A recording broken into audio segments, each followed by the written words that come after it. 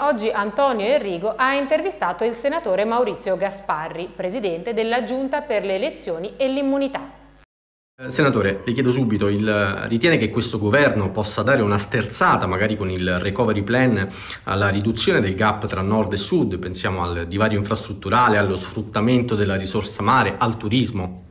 Noi ce l'auguriamo, non è un governo che abbia un orizzonte temporale immenso.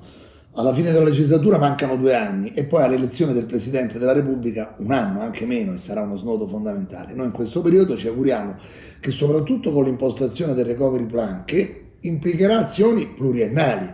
Quella quantità ingente di soldi non arriverà tutte e subito, arriverà nel tempo e arriverà quando poi ci saranno governi diversi perché il loro impiego di quei fondi sarà eh, diciamo, spalmato negli anni.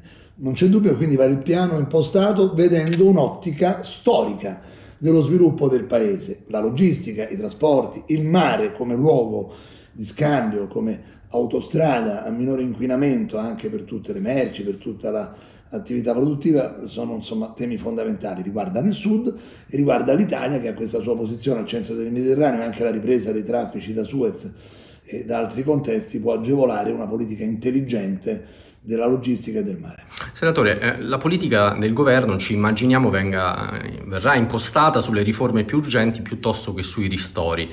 Eppure come si dovrà comportare l'esecutivo Draghi con settori fortemente penalizzati? Oggi si chiamano eh, impianti sciistici, domani potrebbero essere altri comparti. I ristori secondo lei devono continuare ad avere una loro importanza?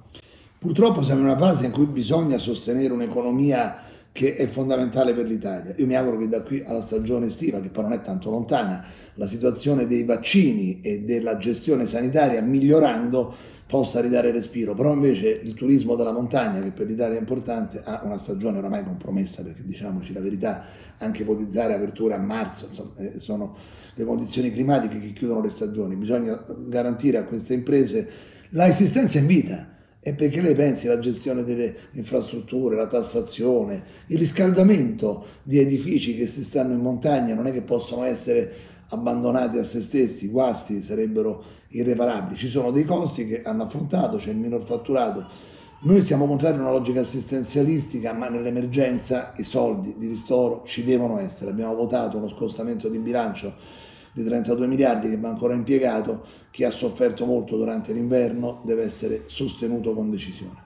Il nuovo esecutivo pare avere una connotazione tecnica nella gestione dell'economia a livello internazionale. Lei crede che sarà Mario Draghi in persona a gestire i rapporti economici di forza in Europa e lascerà alla politica la gestione delle questioni prettamente nazionali? Beh, la politica dirà la sua su tutte le questioni, perché anche l'agenda degli anni futuri con il recovery plan riguarderà governi che ci saranno. Draghi è una risorsa sotto questo profilo.